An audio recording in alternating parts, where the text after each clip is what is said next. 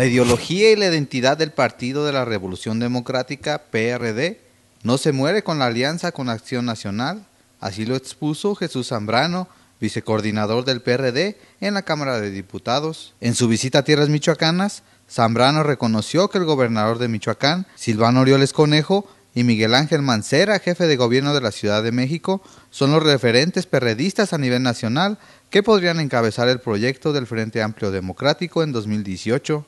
Por supuesto, Silvano es uno de los capitales políticos más importantes que tiene el perredismo a nivel nacional. El exdirigente nacional del Sol Azteca asentó que el principal objetivo de la posible coalición entre el PRD y el PAN es sacar al PRI de los pinos.